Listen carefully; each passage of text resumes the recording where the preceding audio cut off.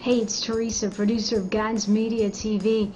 I don't send out emails like this very often, uh, asking you to look at something, but if I believe it's going to be something of interest to you to advance your message, to advance your ministry, to help your marketplace business, I'm going to send it. As you know, I always say if the jihad can use the internet to train for the holy war, why can't we Christians use the same technology to advance the kingdom of God?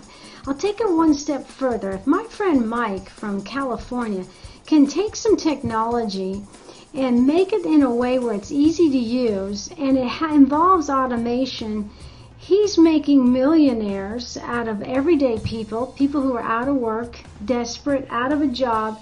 Why can't we give you a chance, give it in the hands of people who are going to use it for God's purposes? who are going to use it to advance the kingdom of God, whether it's their ministry, their message, even their marketplace business.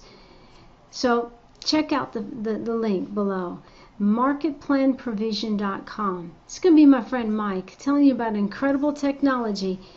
I share it because some of you, this could help you. It would be an investment, but for some of you, it could really be an answer to your prayer. You may be out of a job or about to be out of a job. You may be wondering, what are we going to do with this ministry? It's not going anywhere. I need help. Check it out. Got any questions? I'm right here.